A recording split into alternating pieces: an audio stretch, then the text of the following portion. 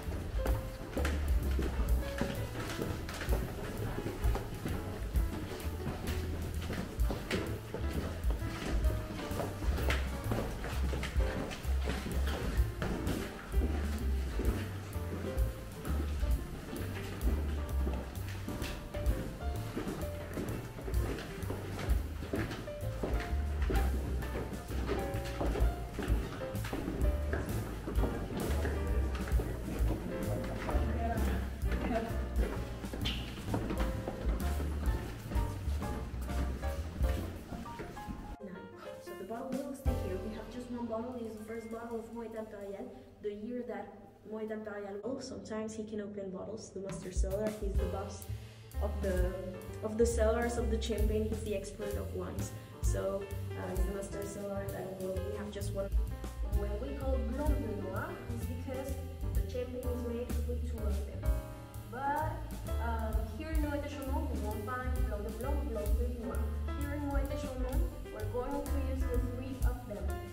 We're going to do a blending of the three of them.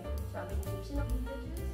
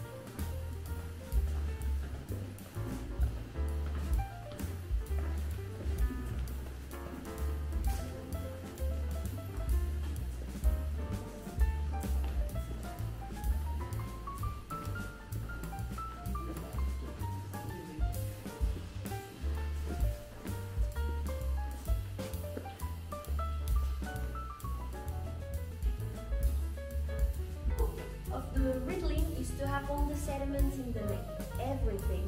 If we turn the bottle just like this, I know that in a few minutes we will have a sediment here. But we, we just have the biggest parts of the sediment that we can see. All the little particles will stay here in the in our wine if we turn it just like this. So the best way to have everything and also the small parts of the sediment is to turn the bottles. That's to open a bottle like this everything has the big bubble has to stay here in the middle. And that's the big old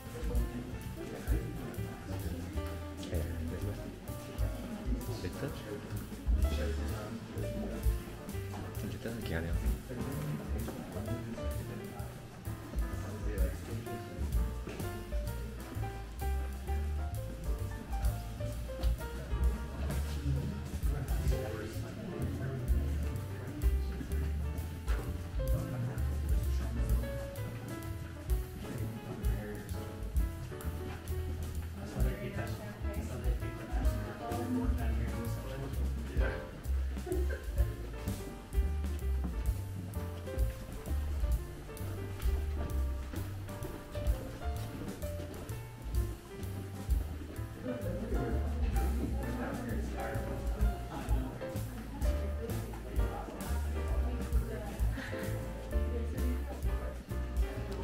하네요 기하가 해보게요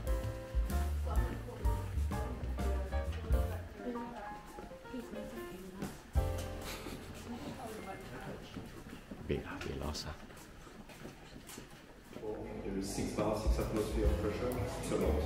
So always keep an hand on it, and it's always easier to turn the bottle instead of turning the cork. By turning the bottle, I have more control of the pressure than when I feel that the cork come at the top. I just need to pull it on the side, and this is your pressure. and you avoid any risk. You need a little bit of practice. and of course, if you want a formula